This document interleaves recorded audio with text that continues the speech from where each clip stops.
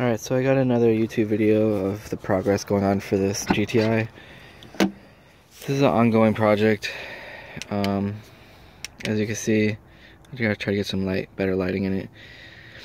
I um, chose to do this at night just so you can see the cool, um, the lighting that's set up for it. It's, it's great um, LED ambient lighting coming from a false floor setup with a, a single 12 inch uh, Alpine woofer. It's a Alpine Type S, and um, it's got some cool carbon fiber um, accent going on.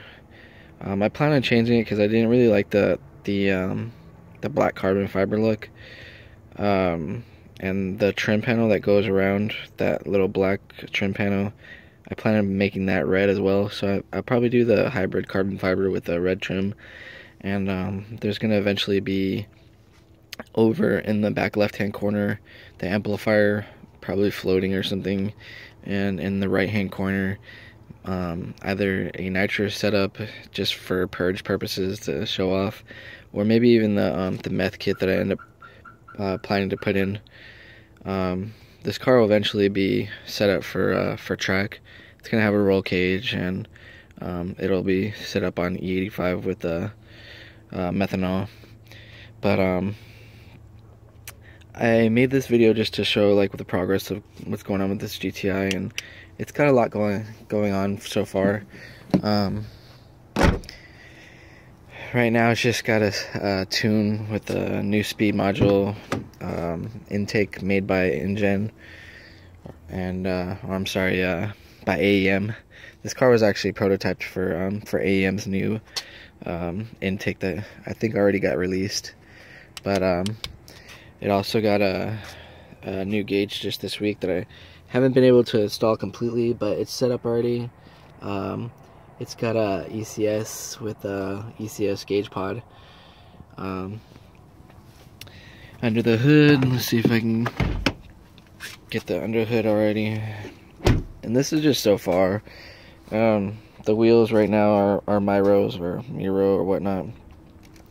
Set up on um, DG uh, springs for time being. It's got uh, Ed's aftermarket uh, dual LED uh, halos, I guess, with the projector lenses and HID converted uh, headlamps. Um, and that's uh, AEM's prototype uh, intake. So far, they're not carb legal, but uh, this car is kind of more for going to be going towards track purposes anyways, so I'm not really too worried about that. Um, I've got the the new um, forged bluff valve or bypass valve that's going in hopefully this week. As soon as this uh, the uh, boost tap comes in which I'm waiting for from uh, EC ECS tuning. So I can't wait for that. And um, the future for this year should be doing um, some coilovers, which I've been been looking at.